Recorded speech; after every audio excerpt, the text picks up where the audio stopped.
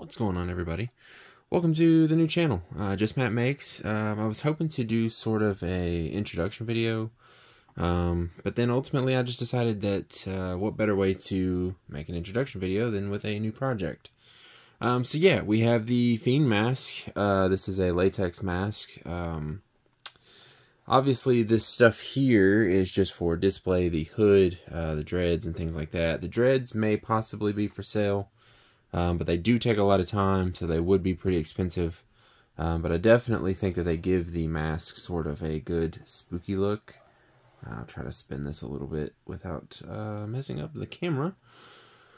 Uh, but yeah, so like I said, the dreads may be for sale, uh, but ultimately they do take a ton of time. Uh, so I don't know exactly what the price point for those would be, but uh, yeah, they could be turned into a wig um, they could just be used for display, such as these right here. These are actually just sort of like cheap mounted to the armature that I have here.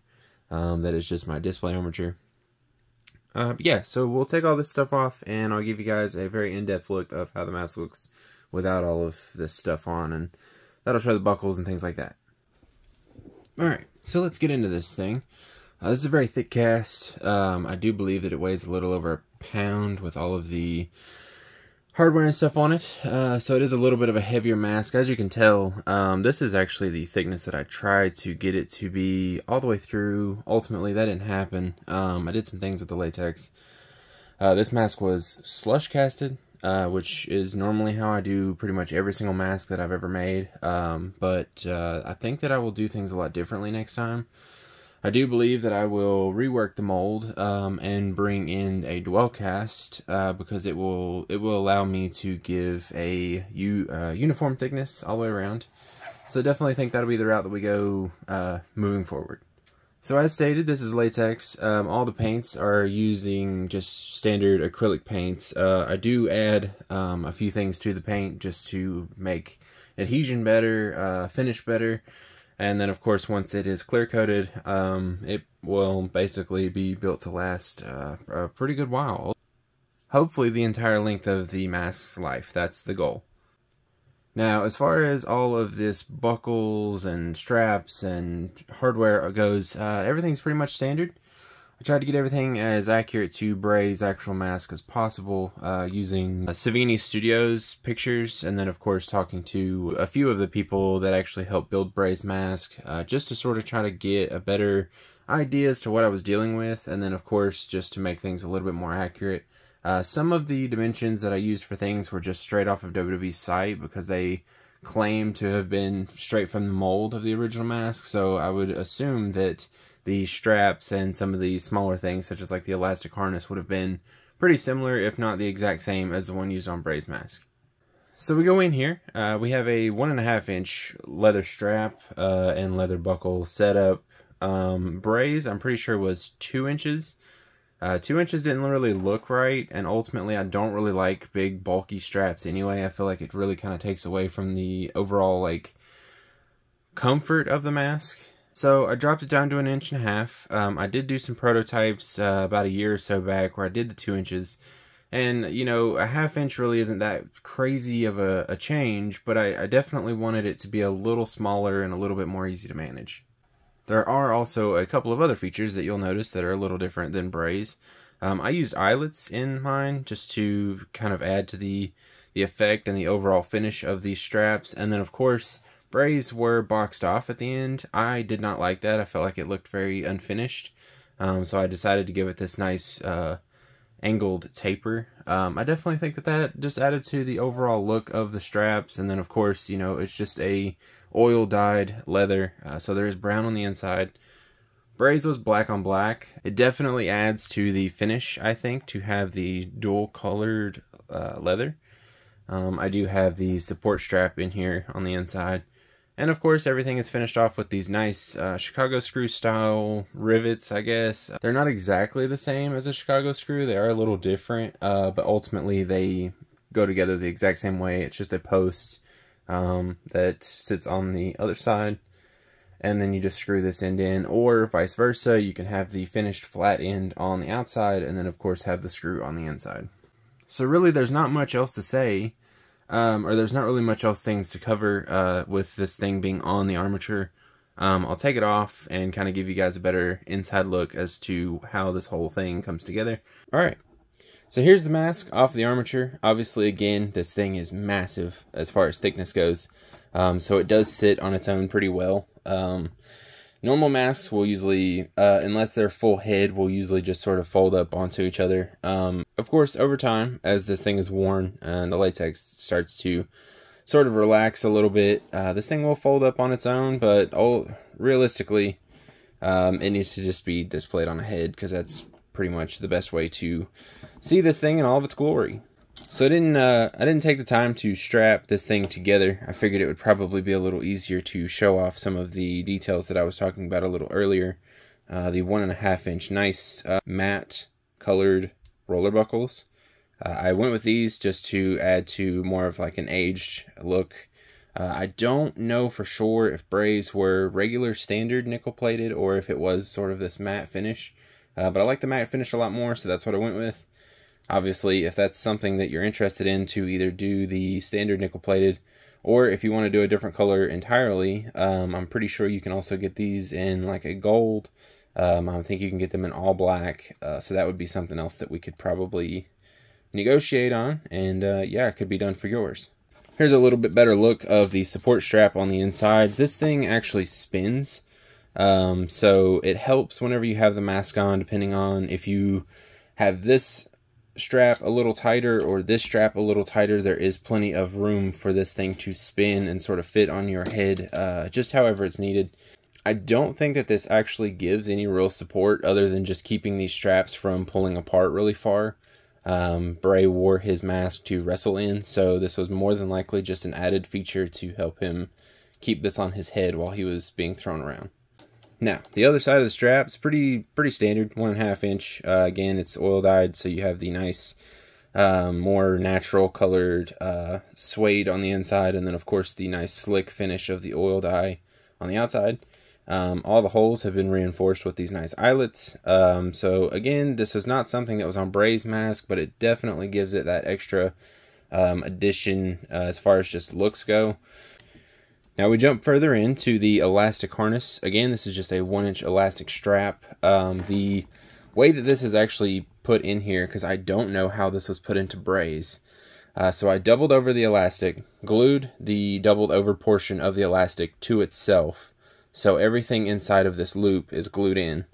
The side that touches the suede has been glued in, and then of course the washers here have also had a little bit of glue applied to them. Uh, I say glue, it's contact cement, so there's tons of flexibility in this elastic. Um, it does not hinder any of the flexibility in the strap or the mask itself um, because, you know, I've seen a lot of times that people will glue their masks in and it's like super glue or hot glue and you just you, you can't do that so all of these have this setup um, all four straps have this setup of the elastic that has been doubled over glued to itself glued to the strap and then of course there is a little bit of glue on the washer um, as I screw everything together um, so it's a pretty much permanent bond to all the pieces but if it, there is for any reason this mask needs to be taken apart um, it won't be a problem. There's nothing that a little bit of elbow grease and uh, a screwdriver can't take care of. Now, as far as this part goes, um, I just really added this to keep these straps from sliding up and down. Um, again, just an added feature that Bray's had to sort of aid him in the wearing of the mask while he was in the ring. So yeah, that's uh, pretty much this whole thing here. Um, just tons of acrylic paint, tons of the additives that I add for adhesion and then the finish that I put over top of all the paints to help completely seal the mask off. Um, I really enjoy wearing my masks, uh, so I love to build the masks that I make to be able to be worn. Um, I want them to be strong, I want them to be comfortable, but I also want them to be nice display pieces because, you know, I mean, ultimately, that's why you have masks, that's why you're in the hobby, because um, you, you just really enjoy displaying this type of stuff. Um, so, you know, if this is something that you are interested in, uh, this copy right here that I'm recording uh, is 250 US dollars. Uh, shipped in the US is free, um, and then of course shipped internationally. We'll just have to kind of figure that out because shipping is uh, insane, and depending on where you are, it could be a little cheaper, it could be a little bit more. Um, so we'll just kind of get that figured out. But this copy right here, this very thick, uh, heavy duty copy, which I'm pretty sure is like one and a half pounds um, with everything together, I'm pretty sure uh, is what it come out to.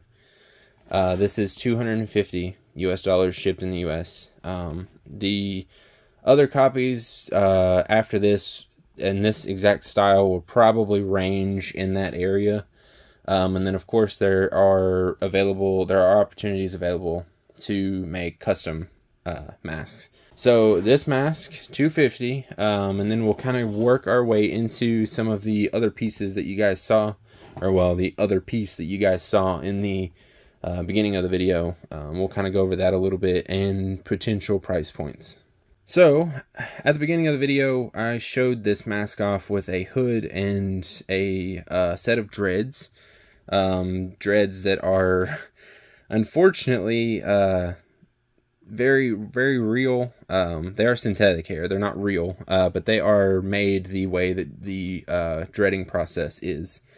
Um, these are hand done, and each dread has taken me probably a little bit under an hour maybe. Uh, I did get a little faster as I practiced on a bunch. These are the final products of some of the ones that I did. The other ones were atrocious. They were either super, super skinny.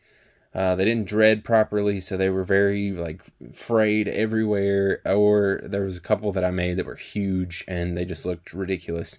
Um, so these here were the final product of what I spent probably about two or three days perfecting, or at, at least attempting to perfect. Um, so there, I know there has been intrigue and interest on these. Uh, I've had tons of messages, especially in my old account, um, about dreads and like more realistic dreads. Uh, these can be made, uh, but they will definitely not be cheap.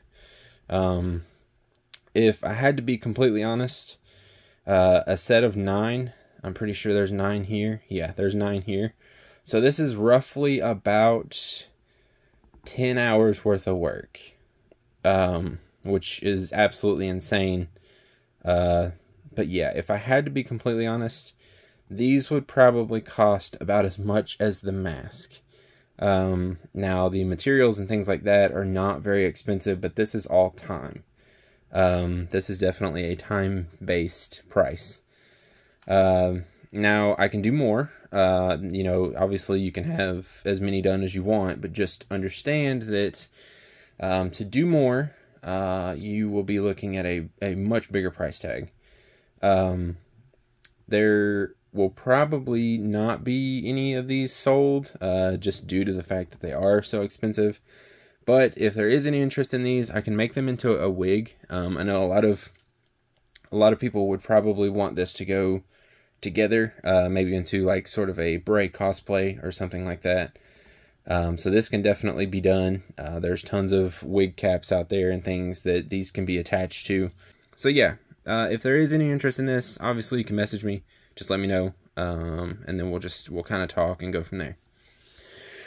So, with all of that out of the way, uh, price points, uh, things that I've covered, I'm pretty sure I got everything that needs to be said. Um, we will end off with some outdoor shots of this thing because I really haven't taken this thing out to really fully display it in all of its glory. So I will definitely do a little short video at the end to showcase this thing out in the in the wild, uh, so that way you can see all of its colors and all that fun stuff, and just sort of see what it looks like uh, in real time. Obviously, the studio or the these lights that I have here for this sort sort of show it off, uh, but nothing too too fancy. Um, this is more or less just to get this mask out because I'm definitely happy about it. Um, unfortunately, it came at a pretty rough time for uh, wrestling fans, but uh, it inspired me to finish this project. So I definitely want to put this out into the world um, because I know a lot of people would probably really appreciate it. So, with that being said, uh, thank you guys for viewing this, for watching this.